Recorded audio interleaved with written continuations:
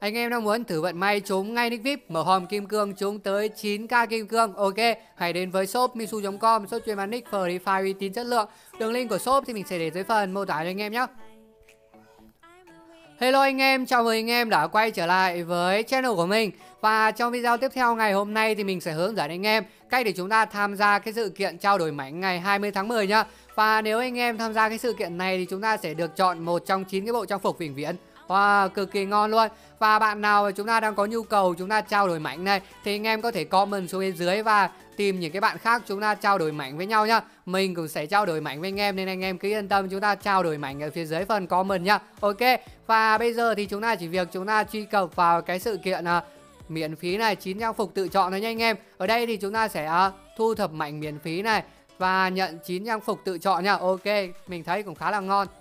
Ok, giờ thì chúng ta sẽ truy cập vào trang web của phần sự kiện nhá. Trao đổi mảnh rước áo dài này Ok, cực kỳ phê luôn. Ở đây thì anh em sẽ có 9 mảnh để chúng ta thu thập nhá. Đầu tiên đó chính là cái mảnh nam cứu hỏa này Tiếp theo là mảnh nữ cứu hỏa Mảnh bạch tuộc baby này Mảnh mực mộng mơ Ok, và đó là bốn mảnh đầu tiên nhá. Và tiếp theo đó là cái mảnh tu xe đô này Mảnh nữ yêu tinh mảnh ờ, người sống sót của nam và nữ nhá. Và tiếp theo đó là một cái mảnh ngon nhất, Đó chính là cái mảnh áo dài nhá. Ok, Và anh em chúng ta sẽ dùng cái lượt quay để chúng ta quay, Chúng ta nhận các cái mảnh trong đây nhá.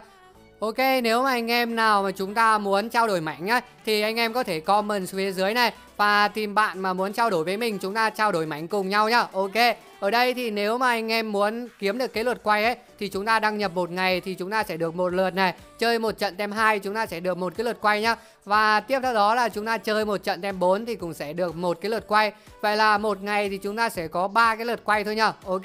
Ở đây thì mình đang có hai lượt quay thì mình sẽ quay thử xem nhá. Và phần quà của chúng ta thì khi mà anh em thu thập đủ 3 mảnh ấy, thì chúng ta sẽ được một hộp súng giác đấu nhá. Tiếp theo khi mà anh em thu thập 6 mảnh thì chúng ta sẽ được một cái váy quay súng này. Tiếp theo đó là khi mà anh em chúng ta thu thập đủ 9 mảnh nhá 9 cái mảnh luôn đấy, Thì chúng ta sẽ được chọn một trong 9 cái bộ trang phục tùy chọn nhá Mình thấy cũng cực kỳ đẹp luôn Và trong đó thì sẽ có một cái bộ trang phục là áo dài nhá Đấy, chắc chắn sẽ có rất nhiều anh em chúng ta đổi sang cái bộ trang phục áo dài đúng không? Mình nếu mà mình uh, thu thập đủ 9 mảnh ấy, mình cũng sẽ đổi cái bộ trang phục áo dài đấy. Và đây là cái phần thể lệ nha anh em. Anh em nào mà chưa hiểu hết đấy thì chúng ta có thể vào và chúng ta đọc phần thể lệ nhá.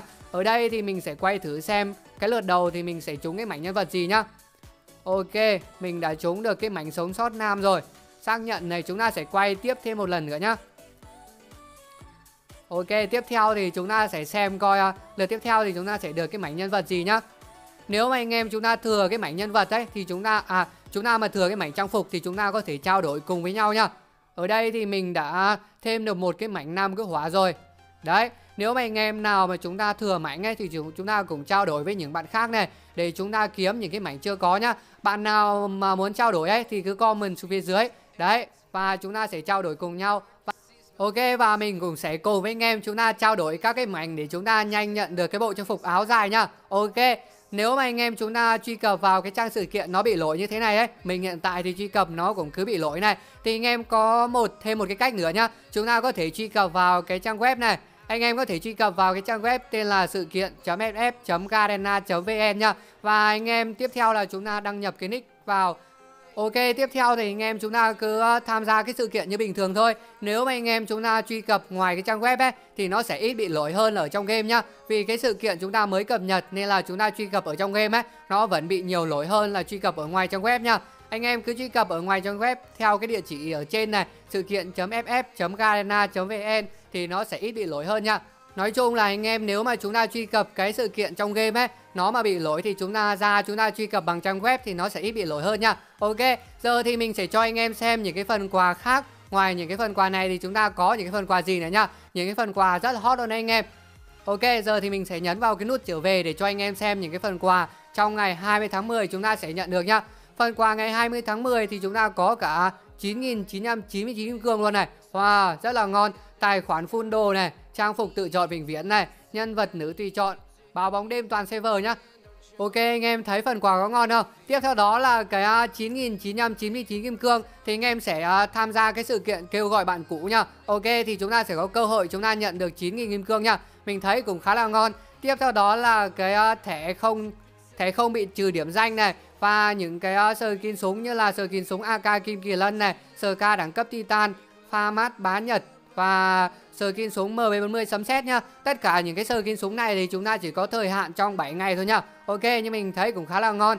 Còn cái uh, con trợ thủ báo bóng đêm thì anh em sẽ uh, thu thập huy hiệu Akma và thu thập cái uh, kẹo bí ngô trong ngày 16 tháng 10 đến ngày 20 tháng 10 để chúng ta đổi cái uh, con báo bóng đêm này nhá. Ok, những anh em nào mà chúng ta chưa sở hữu cái con báo bóng đêm ấy thì uh, chúng ta tranh thủ chúng ta tham gia cái sự kiện này để chúng ta nhận con báo bóng đêm nhá. Mình thấy cũng khá là ngon. Và ngày 20 tháng 10 thì chúng ta sẽ có cái sự kiện máy lắc quà nhá. Lắc thì rất nhiều quà lắm anh em. Ok, tiếp theo đó thì chúng ta có tài khoản full trang phục vô thẻ vô cực này. Wow, tài khoản full trang phục thẻ vô cực là rất là ngon nha.